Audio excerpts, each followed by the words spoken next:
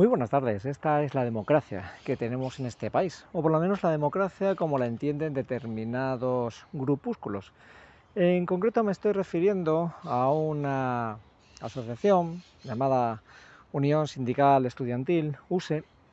que está promoviendo de cara al próximo 15 de septiembre de 2022 un boicot a la conferencia que va a impartir en la Universidad de Granada, concretamente en la Facultad de Derecho,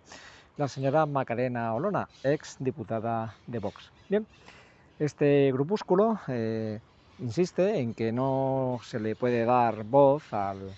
fascismo, que no se, puede no se puede autorizar ni legalizar este tipo de voces y que por el bien de la democracia que hay que evitar que estas personas den charlas. Me hace mucha gracia, insisto, el concepto de democracia y de libertad que, tiene, que tienen esta, esta gentuza, porque no tiene, no tiene más, otro calificativo que gentuza los miembros de la Unión Sindical Estudiantil, porque si alguien promueve precisamente el fascismo y la intolerancia, son ellos, precisamente con este tipo de, de actitudes que al final lo único que se va a convertir seguramente es en cuatro mamarrachos que intentarán montar alguna algarada por, en las afueras de la, de la facultad. Eso sí, esperemos también que el decano de la Facultad de Derecho no se acojone, porque ya hemos visto como en alguna que otra ocasión, de repente,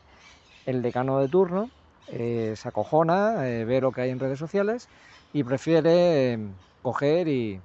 suspender cancelar la, conferencia antes de que le monten el pollo. Porque claro, al final todos estos bárbaros mm, muchas veces precisamente de lo que se aprovechan es de eso, del miedo que tienen determinados mm, cargos mm, públicos para coger decir, si tú pones o metes a Macarena Lona a dar una conferencia, prepárate la que te voy a montar en el campus. Insisto, en este caso lo que hay que hacer, evidentemente, es pues eh, lo que el mejor medicamento que funciona,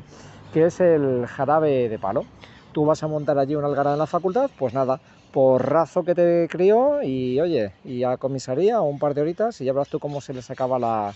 tontería a esta auténtica gentuza que, insisto, promueve, promueve un boicot pues, de alguien que tiene toda la legalidad, la legalidad del mundo como es Macarena Olona.